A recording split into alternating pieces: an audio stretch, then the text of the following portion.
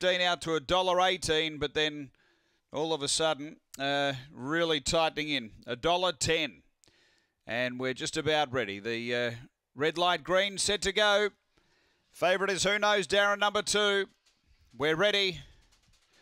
Racing. Uh, who knows Darren begins with them. There's some speed underneath, but who knows Darren got over to lead and really shot away. Opened up seven or eight lengths now on a Harmonist and then stacked the pack. Who knows Wendy and Orson Surfer, but it's in a race of its own. Who knows Darren? Going to come to the bend about 12 in front over Stack the Pack Harmonist. Who knows Wendy, but in the running it's all Who knows Darren. The double for Don Turner as Who knows Darren won it by 12. Stack the Pack second. Third is. Uh, uh, Harmonist, and then came Orson Surfer. Uh, behind those was Who Knows Wendy. It was back toward the uh, tail end, 22.64 the run.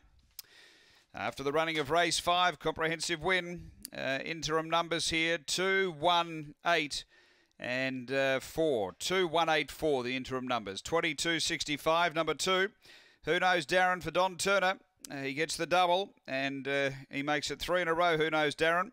Second going to one, stack the pack for Don Gordon, and third to eight, Harmonist for Kim Johnston. Uh, 2 1 8 4, it's 13 lengths by one and a half, 22 64, race five here at Gawler.